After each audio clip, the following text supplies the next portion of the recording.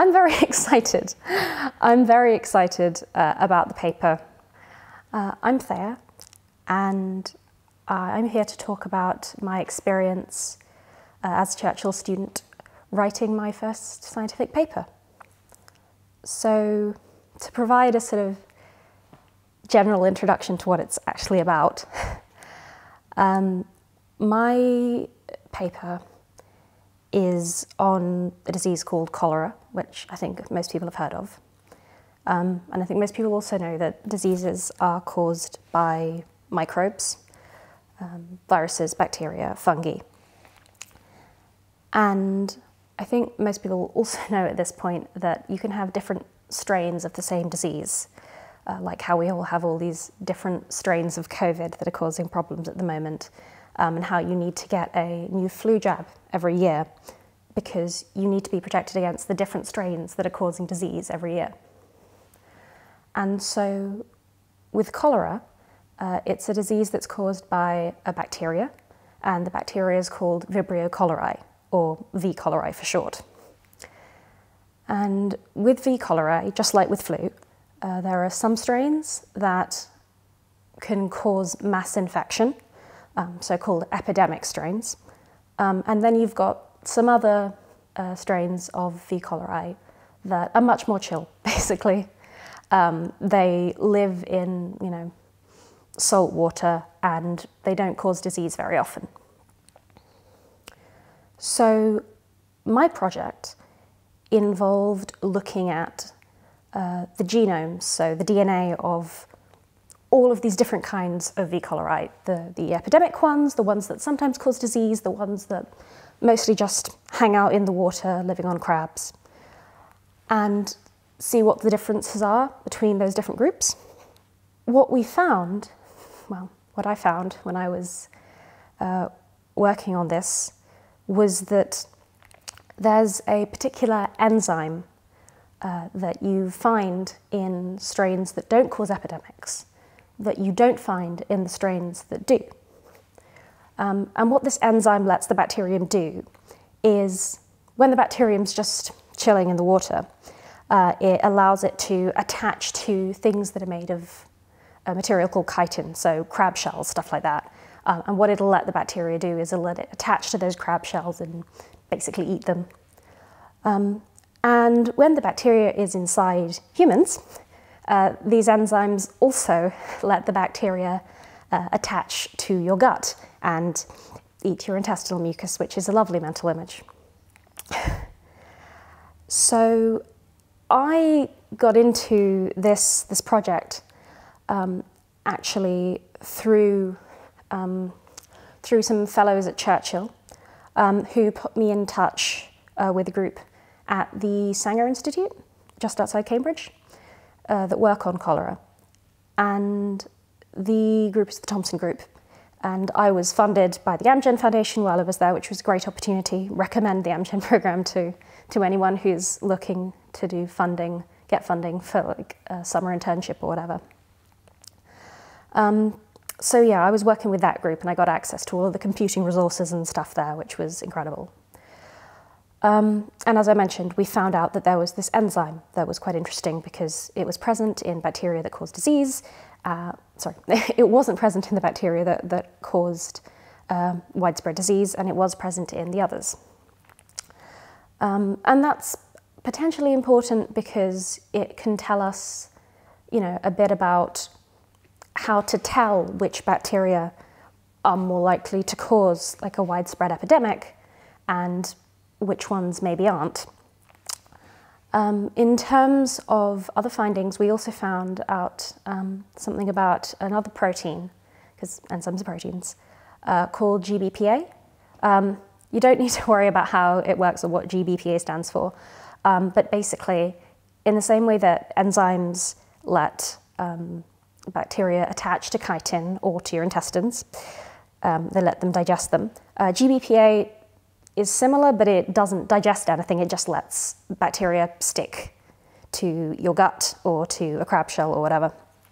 And that was quite interesting um, from a sort of medical perspective because uh, GBPA is a protein that we find in a lot of strains of cholera. We thought it was found in all of them. Um, and it had even been suggested maybe we should use it to, to diagnose um, whether something is being caused by V. cholerae, whether that's causing disease. Um, but what uh, I found while I was at the Sanger is that actually that protein isn't present in all of the strains of cholera that we've isolated. Um, and that's quite important from, from a clinical perspective. Uh, so I've already talked a little bit about how it is I came to be doing this project. You know, I, my thanks go out to the Sanger Institute for having me there and for letting me work remotely for the last two years. And also to the Amgen Foundation for, you know, providing the funding that let me go there in the first place. Uh, in terms of why I was attracted to the project from a sort of nerdy academic perspective, um, I was really keen to get into computational biology um, because biology is a field, the amount of data that's being generated is just sort of growing exponentially um, because we have all of this computational power and we have all these amazing methods uh, for sequencing genomes and for sequencing transcriptomes, RNA. Uh, and it's increasingly important to have skills like uh, programming and to be familiar with the kind of software pipelines that you can use to turn all of that big data into something that's actually biologically or medically useful. Uh, so from that perspective, um, I was just really excited to have the opportunity to work with this, this group that did, you know, some computational genomics at the Sanger. Uh, and I had a great time doing it. Like I went, got to go on, you know, all sorts of, um, you know, supercomputer cluster training courses, and I started to learn Python, which I now have to use all the time, so that was useful. Um, but also, um, something that sort of hit me while I was working there, I remember I, I think it was on, on Tuesdays, there were cholera Tuesdays, you had um, uh, meetings of the people who, who researched cholera.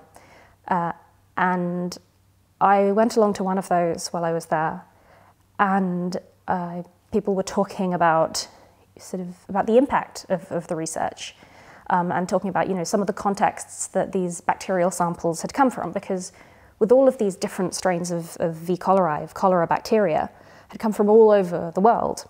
Um, and I was just looking at their genomes on a computer, um, but you know that they all came from disease outbreaks, and it kind of hit me at that point um, that the research is cool, like it was incredible and a great experience, uh, but I think it really made an impression on me that oh yes, it's cool, and it's also important that this is actually supposed to have an impact and does have an impact on people's lives. Um, and I think as a student, it's very easy to lose sight of that because you spend so much time trying to memorize all of this information about bacteria and viruses and cancer and all sorts of things that it's very easy to sort of lose sight of the fact that research actually has applications. Um, so yeah, that was that was an important experience. I, I definitely recommend that anyone who's studying science tries to get some experience of what sort of real-time research is like because the feeling of, of understanding how it is that science kind of works in the wider world and why people do science in the first place is really important. But yeah, when you're, when you're getting into science as a student, you're just starting your career, it's very important to bear in mind that failure and rejection is just part of the process. I know that, you know, on Facebook or LinkedIn, or whatever, people tend to only report the times that they're successful in getting something done. Um, but the truth is that even when things don't work out, it's a learning experience. So, you know, definitely your first paper is an exciting time, but keep your like expectations sort of reasonable. Don't be too hard on yourself. Don't too, put too much pressure on yourself for everything to work out. Um, to be honest, when I first um, had that sort of meeting where we discussed the possibility of writing a paper, so it was at the end of my internship, and I was having a meeting with my PI at Sanger, uh, Professor Thomson, and he said at the end of it, "Yeah, no, this this seems really good work that you've done here for the last, gosh, it's like two months." I was working there at the Sanger in person. And I kind of assumed when he said, Yeah, this is good, you should publish, that he was joking. And then the, the PhD student who had been mentoring me at the Sanger, uh, Matt, who is also a fellow at Churchill, um, was really helpful. But he, he came up to me afterwards basically and he said, Okay, right, we need to talk about how we're going to balance this with your degree. And that was when it hit me that, oh no, this is actually a thing, this is actually happening. And it's been incredible. Uh, it's been a long process, um, although I'm, I'm told that two years is actually a fairly normal uh, time to take to take a paper from like, hmm, maybe we should publish this to, ah, we are succeeding in publishing this. Um, but it's also been, I guess, particularly disrupted um, because of you know the pandemic. It's thrown us all into a bit of disarray for a while. Um, but you know things have pulled together, and now that I'm at the stage where I realise, oh wow, this is a publication, and and I, I can read the preprint, and it has my name on it. That's me. Um, that's an incredible feeling, um, and I think an equally incredible part of the experience has been sort of the the sort of support and mentoring I've had through the process. Um, both both Matt, as I mentioned, who's a fellow here at Churchill, and also uh, my my DOS. She's not my DOS anymore, but um, I'm a fourth year, and for my second and third years, my DOS was Rita Monson, and she provided some really useful uh, conversations through the whole thing, and she also was, you know, just generally a supportive person to talk to, which was nice.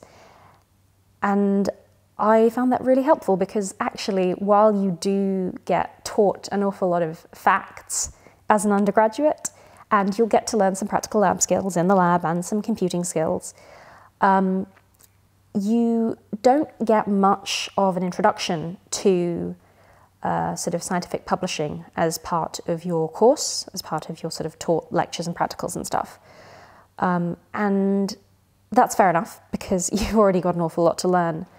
Uh, but I think for people who want to, you know, take their science degree um, and go into sort of actual research, uh, it's really important to, to have those people there to sort of support and guide you through that process because it's not obvious, it's not intuitive. You get a lot of emails, you don't necessarily know which of them are priority and which of them you've sort of just been copied into for formality's sake. Um, so that's definitely something that takes some getting used to. Um, and I feel really lucky to have been at Churchill, to be honest, because, you know, as you probably noticed, uh, Matt and Rita, who, again, thanks, guys, um, I, people I got to meet because I was in this environment here. And, you know, I'm at the start of my career and this is an exciting thing. And I kind of know it couldn't have happened um, if I hadn't been at this college, or at least it might not have done. Um, so, yeah, I guess to summarize my feelings on the paper, um, grateful to the people who helped it happen. Um, proud of myself for, for managing to uh, get to this stage despite everything that's happened in the last uh, year or so. And also just, woo, we, we, we did it. It's a good feeling. Uh, 10 out of 10 would recommend.